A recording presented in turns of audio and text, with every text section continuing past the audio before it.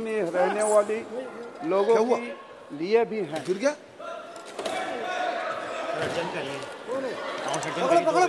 सौभाग्य कार्यवाही दो बजे तक स्थगित की जाती है।